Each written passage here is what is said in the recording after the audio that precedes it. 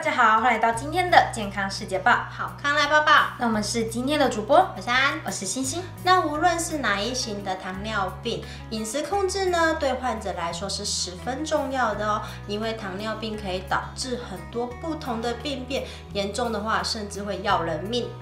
正因为糖尿病患者需要严格控制食物，使得患者对很多食物却步，担心会令血糖水平急升。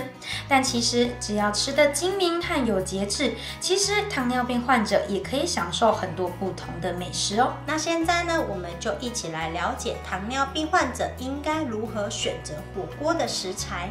那第一个呢，就是火锅汤底。要说到火锅的精髓，相信很多人都会说是汤底，因为所有食材都会吸收到汤底的精华。那么选择一个健康又美味的汤底，真是十分重要。那作为糖尿病大军的一员，我们建议最好就是选择清汤类汤底，例如呢昆布汤、蔬菜汤、豆腐汤等。清汤的热量较低，可以减低对血糖的影响，而麻辣汤这类重口味的汤底就要避免喽，因为这些汤底所含的热量较高，而且十分油腻。但无论是什么汤底，我们都不建议糖尿病患者直接饮用，因为火锅的汤底经长时间的烹煮，会内含高浓度的钠、钾、磷，对心血管造成负担哦。那第二呢，就是先吃蔬果。现代人因为急速的生活节奏，很容易养成吃太快的饮食习惯。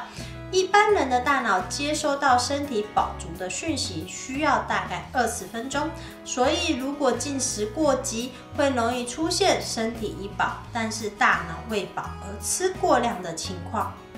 因此，特别建议糖尿病患者在吃火锅时由蔬菜开始，因为大部分蔬菜都是高纤、低升糖指数和低热量的，而且含丰富的维生素和抗氧化物，所以对我们的身体健康有莫大的好处哦。那我们下段节目继续告诉你，糖友们要如何吃锅呢？那以上是我们今天的健康世界报，下次见喽，拜拜。